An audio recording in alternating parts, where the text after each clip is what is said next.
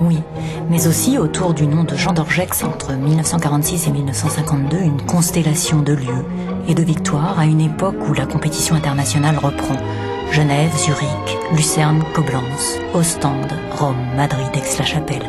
Et puis les Jeux Olympiques à Londres en 1948.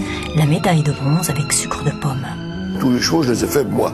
Sucre de pomme, euh, est arrivé un jour, son propriétaire m'a dit, vous voulez pas, j'ai un cheval, vous voulez pas le monter, me dire ce que vous en pensez. Il n'avait jamais fait un parcours de sa vie. Il n'avait jamais, jamais fait un parcours de sa vie, c'était un étrier. C'est lui qui a quand même gagné le, plus de... d'épreuves. Surtout, je l'aimais, je l'aimais euh, comme cheval, comme, comme être.